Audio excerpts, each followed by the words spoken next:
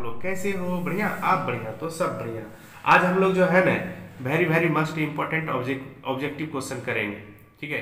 तो आज जितना भी हम ऑब्जेक्टिव क्वेश्चन बतलाएँगे ना बाबू, इनका आंसर जो है ना, पूरी ईमानदारी से कंप्लीट कर लेना। क्योंकि 2022 के लिए ये सारे ऑब्जेक्टिव क्वेश्चन इंपॉर्टेंट है। इन सारे ऑब्जेक्टिव क्वेश्चन का आंसर आप कंप्लीट करके एग्ज़ाम देने जाओगे, ठीक है? देखिए क्वेश्चन आपके सामने है। कौन विद्युत का सर्वोत्तम सुचालक है? ऑप्शन आपके सामने है। कौन कॉपर है? या एजी है? या एल्यूमिनियम है? या आयरन है? कौन विद्युत का सर्वोत्तम सुचालक है? तो सबको पता है इनका राइट आंसर क्या हो जाएगा? एजी ठीक है? यानी बी हो जाएगा इनका राइट आंसर ठीक? चलिए क्वेश्चन इंपॉर्टेंट है। इनको कंप्लीट कर लेना। देखिए, अगला क्वेश्चन आपके सामने है।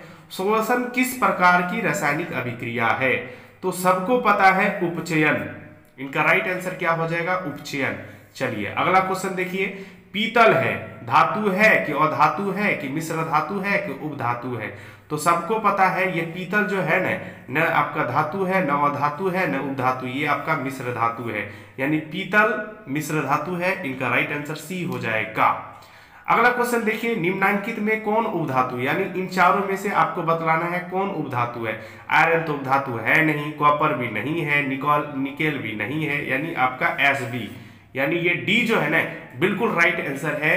ये बी आपका जो है क्या है? उप, उप धातु है। चलिए अगला क्वेश्चन देखिए। सरलतम हाइड्रोकार्बन है।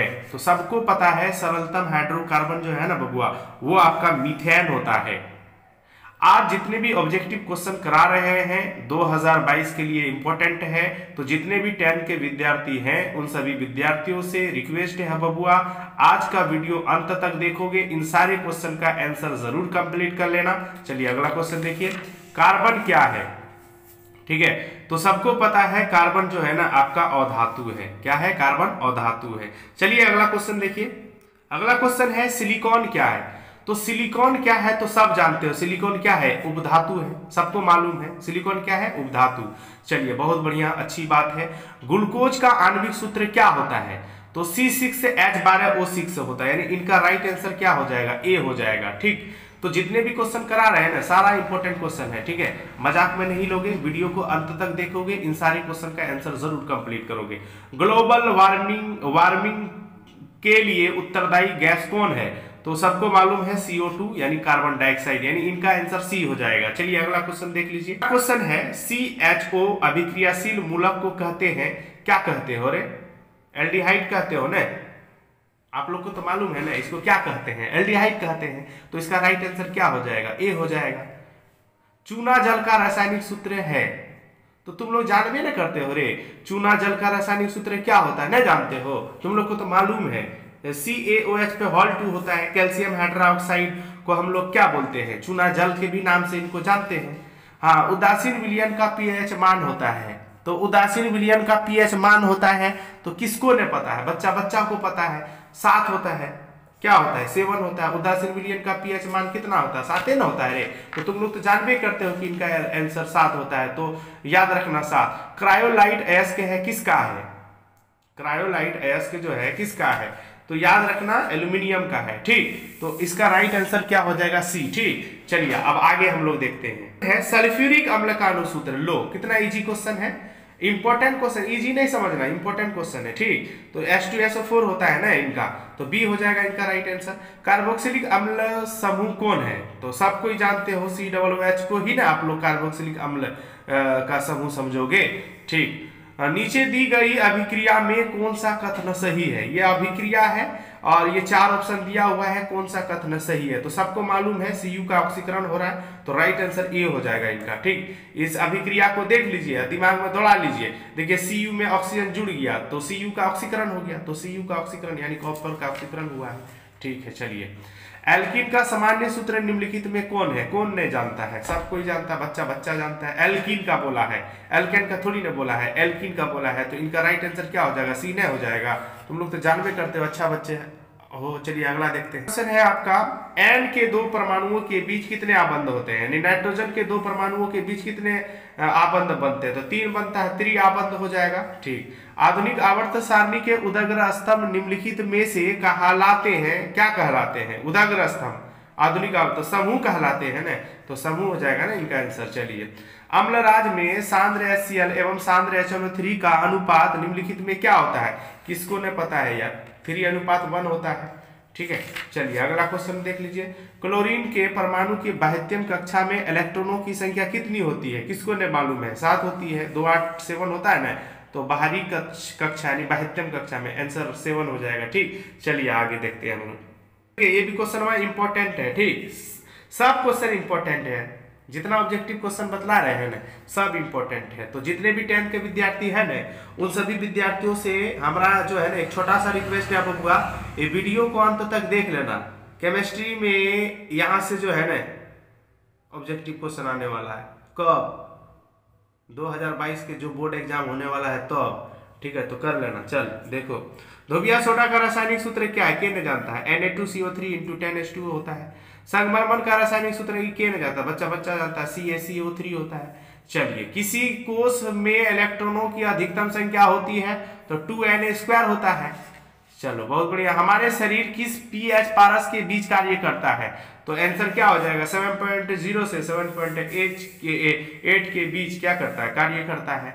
चल, अब अगला क्वेश्चन देखते हैं हम लोग। अगला क्वेश्चन है, पोटेशियम का परमाणु संख्या है। 19 होता है ना, पोटेशियम का परमाणु संख्या। ठीक है तो पोटेशियम का आप लोग जानते हो, परमाणु संख्या कितना होता है? उन्नीस। चलिए, फॉर्मिक अम्ल का आईपीएसी नाम है तो के नहीं जानता है फॉर्मिक अम्ल का आईपीएसी नाम? मेथोनोइक अम्ल हो जाएगा, ए हो जाएगा आंसर। चलिए, इथाइल एल्कोहल का अनुसूत्र है, ये हो के नहीं जानता सब भी जानता C two H five O H हो जाएगा E C two H five ethyl O S alcohol alkyne कौन है? एल्काइन पूछ रहा है, ठीक है, एल्काइन। आपको बतलाना है कौन है तो एल्काइन, एल्किन थोड़ी बोल रहा है, एल्काइन कौन है? तो एल्काइन तो बताइए दोगे सी टू एच टू हो जाएगा। चीनी का रासायनिक सूत्र है तो चीनी का पूछा है ना, रासायनिक सूत्र। तो क्या हो जाएगा? सी बारह एच बाईस ओ ग्यारह हो जाएगा। यानी इसका राइट आंसर सी हो जाएगा सी ठीक। यानी सी चीनी का रासायनिक सूत्र हो जाएगा सी बारह एच बाईस ओ ग्यारह। चलिए अगला क्वेश्चन देखते हैं। देखो, सब क्वेश्चन का आंसर कर लेना, मज़ाक नहीं बोल रहे हैं, ठीक है? सब कर लो केमिस्ट्री में यहाँ से बाहर नहीं आएगा आपका बोर्ड एग्ज़ाम में। सिल्वर क्लोराइड जिसका फॉर्मूला एजीसीएल होता है, इसका रंग पूछ रहा है तो हरा होता है। ठीक है? क्वेश्चन कितना इजी सब है, ठीक। बेकिंग पाउडर का अनुसूत्र N A S C O three होता है। अशुद्ध सोना का व्यक्त चौबीस कैरेट न हो जाएगा। ठीक है? तो तुम लोग तो अच्छे बच्चे हो। तुम लोग तो सब जानते हो आंसर। इथेन में कितने सहसंयोजक आबंध होते हैं? लो, सात होता है ना? चलिए। C N S two N plus two किसका सामान्य सूत्र है? के ने जानता है। एल्केन का होता है। यानी इसका राइट आंसर सी हो जाएगा। चलिए, अगला क्वेश्चन अब देख लीजिए आप लोग। अगला क्वेश्चन है, आधुनिक आवर्त सारणी में समूहों की संख्या 18 शुद्ध जल का पीएच मान कितना होता है? सात। और उसके बाद ग्लूकोज के एक अणु में ऑक्सीजन के कितने परमाणु होते हैं, के नहीं जानता है। तो इसका आंसर जो है ना, कमेंट करके ज़रूर बतलाना। जानबूझ के हम छोड़ रहे हैं। क्वेश्चन इंपॉर्टेंट है, कमेंट करके ज़रूर बतलाओगे, इनका राइट आंसर क्या होगा? आंसर नहीं बतला रहे हैं, ठीक है? इसलिए नहीं बतला रहे हैं, ताकि हमको पता चले कि आप लोग वीडियो पूरा देखे हो या नहीं देखे हो। चलिए कौन सा पदार्थ लाल लिटमस को नीला कर देता है? ठीक है? तो छार कर देता है ना, लाल को नीला, ठीक है? निम्न में से कौन सा संतृप्त हाइड्रो असंतृप्त हाइड्रोकार्बन है? कौन सा असंतृप्त कौन नहीं जानता है? सी टू एच फोर असंतृप्त हाइड्रोकार्बन है। चलिए अब अगला क्वेश्चन देखिए अगला क्वेश्चन है, देख लीजिए, आपका समीकरण दिया हुआ है। आप बोल रहा है का, इस संयोजन अभिक्रिया है या वियोजन है या द्विविस्थापन इनमें तो याद रखना ये द्विविस्थापन अभिक्रिया, ठीक? बॉक्साइड किस धातु का महत्वपूर्ण एल्यूमिनियम का है? ठीक है? किस रासायनिक यौगिक को गर्म करने पर प्लास्टर ऑफ़ पेरिस प्राप्त किया जाता है? तो जिप्सम को चलिए। प्रोपनोन में उपस्थित प्रक्रियात्मक समूह है वो आपका क्या है? तो सब कोई जानते हो? राइट आंसर सी हो जाएगा प्रो, प्रोपेन प्रोपेनॉन हो जाएगा सॉरी प्रोपेनॉन में उपस्थित प्रक्रियात्मक समूह तो कीटोन होता है ना तो यही हो जाएगा सी एसिटिक अम्ल का आईपीएसी नाम क्या नहीं जानता है? एथोनोइक अम्ल हो जाएगा। ठीक है? तो चलिए अगला क्वेश्चन देखिए। सबसे कठोर तत्व कौन है? लो, हीरा है। आवर्त सारणी में कितने वर्ग होते हैं? वर्ग पूछा है ना तो अठारह होता है ना। कितने वर्ग? तो अठारह हो जाएगा, ठीक है? तो डी हो जाएगा। अक्रिय तत्व कौन है इनमें? तो कार्बन और ये सोना, हाइड्रोजन तो है नहीं, ये हीलियम है। सीएल की संयुक्ता क्या होती है? वन होती है। कितना अच्छा क्वेश्चन है, ठीक है? अक्रिय तत्व कौन है? फिर वही क्वेश्चन यहाँ से रिपीट हो चुका है। तो आपका राइट आंसर हीलियम हो जाएगा। हाइड्रोकार्बन कौन है? तो सी सिक्स आज बारह ओ सिक्स से ये आपका क्या है? हाइड्रोकार्बन है। तो आज जितना ऑब्जेक्टिव क्वेश्चन कराए ना बबुआ इन सारे ऑब्जेक्टिव क्वेश्चन का कंप्लीट करके जाना, ठीक? और निश्चित रूप से आपका एग्ज़ाम बहुत बढ़िया जाने वाला है। आज का क्लास आपको कैसा लगा? अच्छा लगा हो तो लाइक शेयर कमेंट ज़रूर करना। और जो चैनल को सब्सक्राइब नहीं किए हो, उन सभी बच्चों से थोड़ा सा जो है ना बाबू, छोटा सा रिक्वेस्ट है। कि चैनल को सब्सक्राइब कर लेना। आज की क्लास यहीं से समाप्त करते हैं। धन्यवाद।